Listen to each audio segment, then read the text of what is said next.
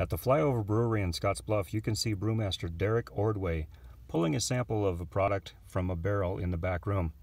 The product has been aging since January and will likely be available for the public sometime in October.